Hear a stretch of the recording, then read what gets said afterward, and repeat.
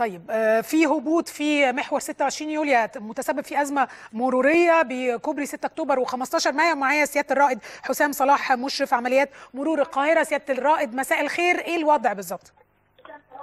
مساء الخير يا فندم. أهلا وسهلا بحضرتك. أستاذ لميس. اتفضل.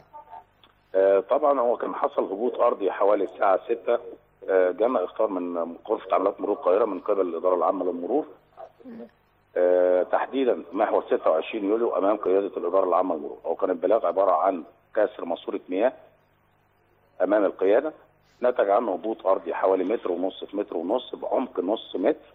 كان ليه تأثير بطء الحركة أثر على حارتين من الطريق. دي المنطقة دي منطقة ضيقة بمنطقة أرض اللواء. في القادم من خدمات أعلى مريض. أثر على القادم من منطقة وصلة مايو بالتالي أثر على الأحجام المروريه في فتره الذروة القادم من أعلى أكتوبر. كان في توجيه من السيد مساعد أول وزير مدير أمن القاهرة بتخفيف الأحمال المتواجدة على كوبري أكتوبر بالتحويل للمسطحات طب يعني. الزحمه فين بقى ونقول للناس إيه يا سيادة الرائد؟ ما هو حاليا على الطبيعة ال- في انخفاض في الأحجام المروريه في انخفاض في الأحجام المروريه المتواجده ما نقدرش نقول إن إحنا ننصح بأي تحويلات مروريه للالتزام بالحرم المروريه ولكن الهبوط الأرضي ما زال قائم. وهيستغرق الإصلاح متوقع حتى الصباح لو استغرق ما بعد فتره الصباح لأن ده أمر طارئ لابد من إصلاحه لأن محور 26 يوليو محور حيوي فبيتم تكليف الأجهزة التنفيذية السيد رئيس حي العجوزة متواجد ميدانيا. سيد واحد مرور الإدارة العامة للمرور المركزي متواجد. صحبته الخدمات بالوسائل المساعدة. وتم فتح حارتين من الطريق. بالأجهزة ده الطريق. اللي رايح ولا اللي راجع يا سيادة الرائد؟ المتجه المتجه. مفيش أي مشكلة في اللي راجع متجه منين. لفين؟ معلش مع... عشان نفهم الناس. القادم من القادم من ميدان لبنان القادم من ميدان لبنان هو متجه اتجاه خدمات طريق مصر اسكندرية. آه، أما من- بالنسبة للقادم من طريق مصر اسكندرية ما فيهوش أي مشكلة اتجاه خدمات مطالع مايو اتجاه مناطق القاهرة في استيعاب كامل.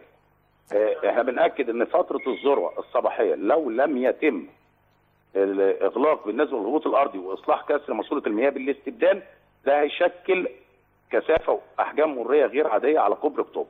ننصح المواطنين بالالتزام بمحور الدايل بالنسبة للمتجه لمدينة إنتاج الإعلامي أو المتجه لطريق مصر اسكندرية هيكون أفضل حالا من الاستمرار في فترة الكثافة في فترة الذروه على أعلى المريض.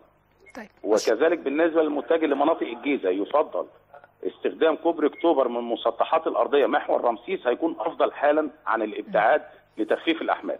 طبعا في إخفاق في محور 26 يوليو إن يستوعب الأحجام المرورية القادمة من أعلى أكتوبر.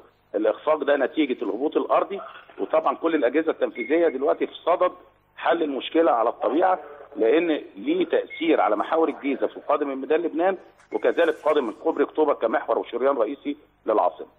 بشكرك سياده الرائد حسام صلاح مشرف عمليات مرور القاهرة. اذا هبوط أرضي آه، في آه، آه، عند محور 26 يوليو وده في الاتجاه اللي هو من ميدان لبنان إلى آم، إلى 6 أكتوبر وبالتالي أو إلى مصر اسكندرية الصحراوي يعني ومنطقة 6 أكتوبر وبالتالي ده في هذا الاتجاه. الاتجاه الثاني ماشي تمام ما فيهوش أي مشكلة ده اللي قاله لنا سيادة الرائد.